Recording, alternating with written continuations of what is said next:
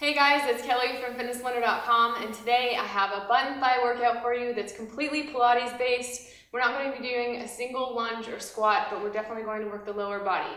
We're going to be doing 40 seconds on with 10 seconds rest and all you need for this workout is an exercise mat.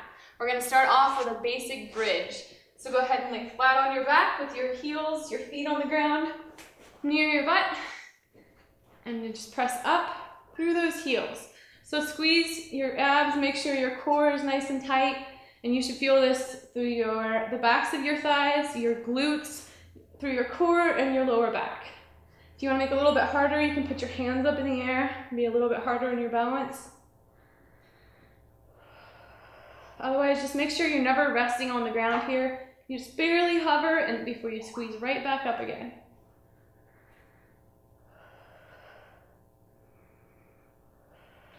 Inhale on the way down.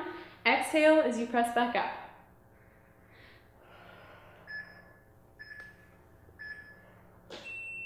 All right, we get a short break here. Next up, we're gonna be doing a swinging bridge. So it's kind of a similar motion, but we're rocking back and forth, pressing up on each side. So it just targets that muscle in a little bit different way. So coming up this way, sinking down in the middle, but not all the way, swinging back up to the other side. So you should definitely feel this mostly in the outsides of your thighs, as well as your glutes again.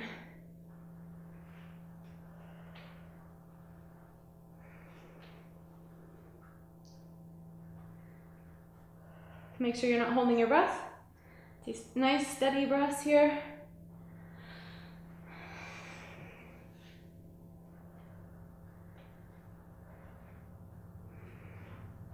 Make sure if your hands are on the ground that you're not cheating by holding yourself up with those hands. All right, next up we're doing an outside leg raise. So lay down all the way flat on the ground, bend this bottom leg, point the toe, that top one, leg straight, come all the way up and back down. So make sure that you're not doing any swing and that you're not using any momentum to get that leg up there because it makes it a lot easier and it renders the entire exercise basically useless. I see a lot of people doing this uh, exercise wrong and it's too bad because it can be really effective if you focus and practice control over your own body. So we're doing lots of different pulses in this workout. So some of this might end up being a burnout round. I actually did a lower body workout before this one, so this might get interesting. We'll see what we can do. All right, 10 seconds rest, and we're gonna do the same movement, but we're gonna stay in the middle range of that motion and do a small pulse. So get that leg out there and just right here, we're not going all the way up, we're not going all the way down, we're staying in the most painful part and we're just doing nice, smooth pulses right here.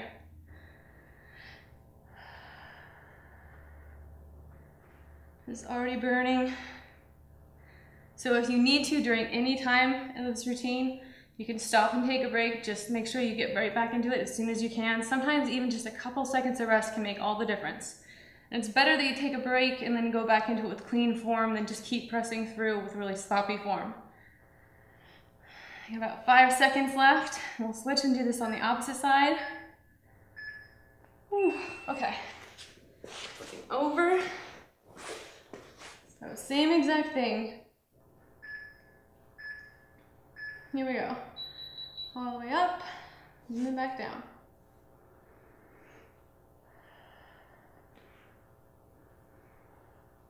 Keep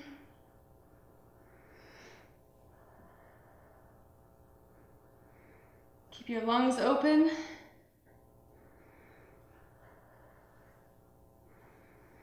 I'm inhaling on the way up, exhaling as I let my leg back down.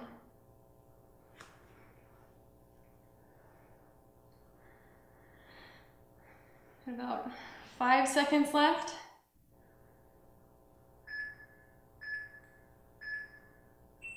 All right, let it relax real quick. Get ready for those pulses. Do a couple quick stretches if you like. Shake out those muscles a little. and start it up. All right, right here in the center. Really smooth, really slow. No bouncing, no jerking, no momentum. Oh, and this is burning like crazy already.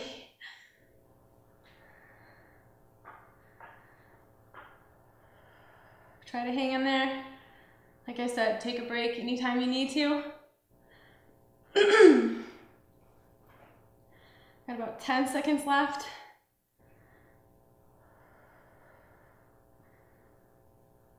Almost done.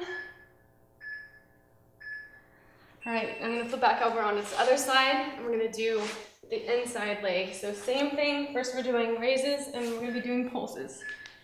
So lay down here in what might otherwise be a comfortable position if we weren't working.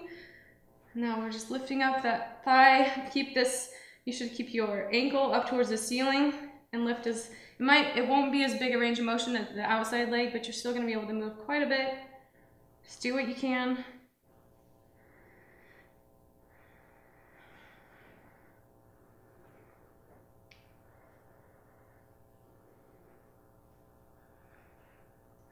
A workout like this one is actually awesome to add on to the end of a strength training routine because there's no, there's, um, it's not very easy to make a mistake. You're not gonna sprain anything necessarily doing this, not like you would with HIIT. So it's a good way to burn on those muscles extra special um, with low risk of injury. So next up, we're doing pulses, same thing. So we're going to that middle range of motion and just doing little tiny pulses right here. Never letting that leg relax until you absolutely can't stand it.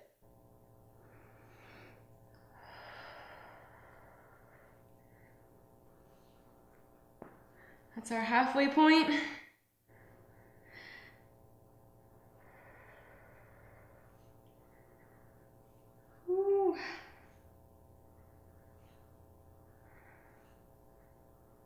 All right, about five seconds left. Keep it going if you can.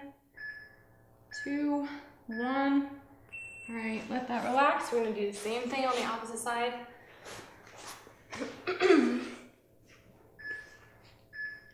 All right, here are the full lifts first. So up and back down. Find your breathing pattern. Make sure you were inhaling and exhaling.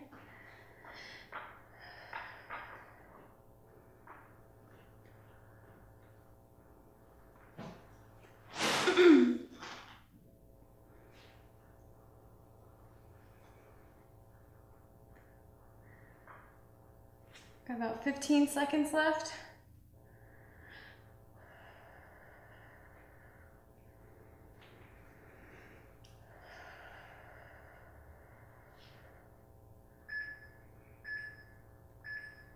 All right, quick break, 10 seconds. Wiggle it out if you need to.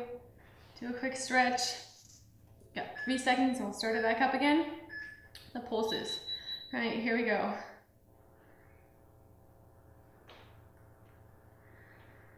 Can use this hand to steady yourself if you need to, if you're having trouble with balance. Otherwise, try to use your core to stabilize yourself.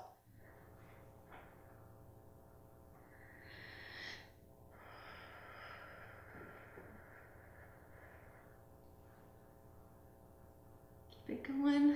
10 seconds left.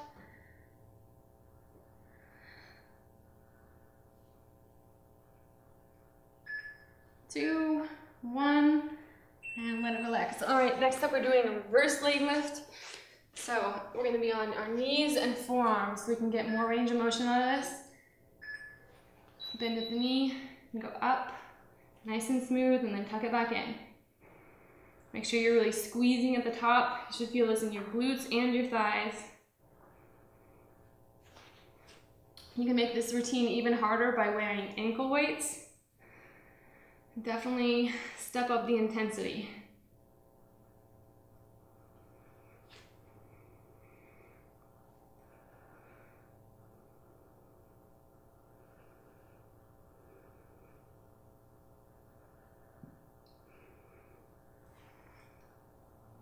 Three, two, one, let that relax.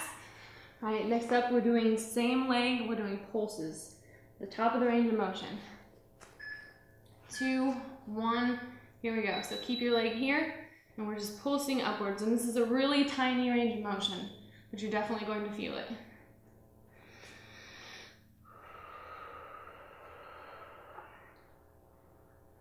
Go to your happy place. Think about something else. Turn on some music. Turn on your favorite show, take your mind off of it, just make sure your form is still clean. Otherwise, just keep pushing through. Got about 10 seconds left, and we'll switch and do this on the opposite side.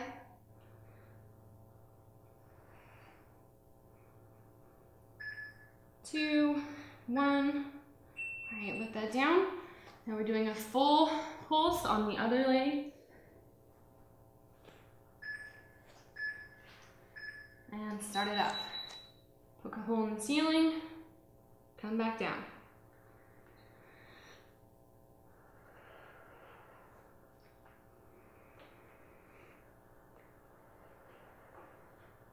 Try to make sure your shoulders aren't coming up towards your neck. Try to press them back down and away from your head.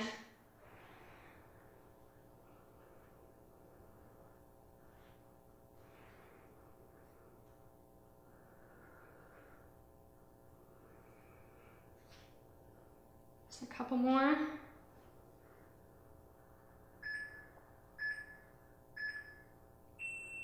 All right, stretch out real quick leg. Couple more seconds and we'll start pulses on that same leg. So get it up there and start it up.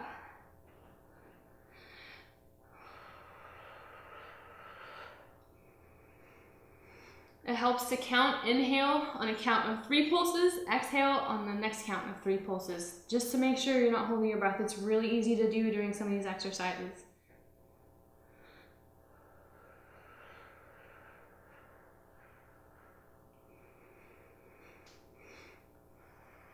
All right, 10 seconds left. We have just a few more intervals and this entire routine is finished already.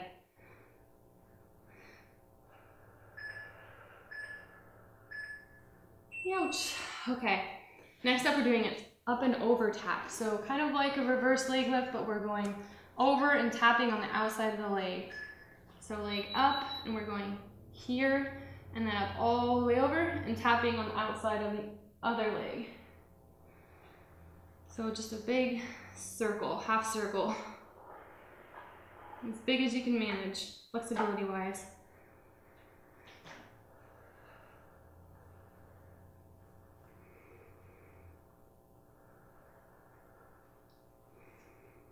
You might actually feel this in the leg that's doing the movement and the supporting leg, and that's completely normal and that's okay. Remember to pull your belly button in there's lots of things you can be working on, even if you're directly, not directly working on those muscles. All right, same thing on the opposite side.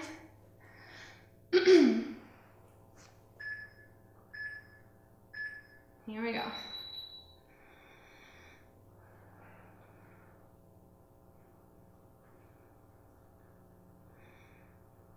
Barely tap on the ground. Don't ever rest on the ground if you can help it unless you need to take a break.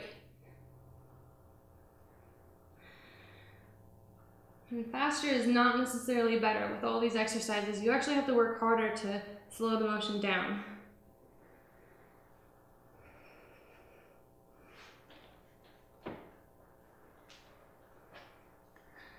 About five seconds left. We'll move on to our last exercise. All right. So lay flat out on your mat, and we're gonna be doing double taps, heel taps here. So you can feel this in your lower back, your glutes, and your thighs. Here we go. Double tap and out. You can lift your chest up off the ground as well if you like, but focus on spreading those legs wide and then clicking your heels together twice. But you're elevated the entire time.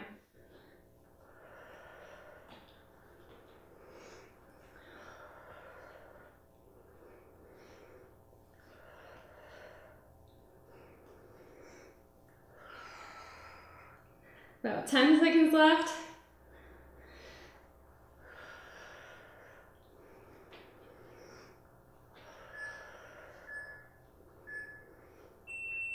All right. Good job, guys. This workout is complete.